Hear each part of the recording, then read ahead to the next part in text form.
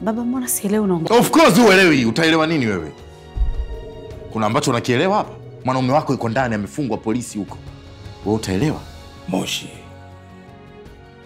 itakugharimu. Ina maana hujui mpaka sasa una kisasi na nani? Mke wa mtu ushafanywa house girl sasa hivi. Nasri, nakuheshimu.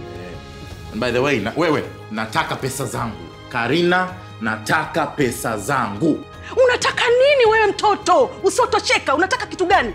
Ndo malipo unamlipa mwanangu Nasir? Kumbe wanachowaza wao ni kunigeuka mimi na kunifanya mimi kama chuma ulete. Kwa hiyo yani pesa ambazo mimi nimeomba kwenye kwa familia yangu ah.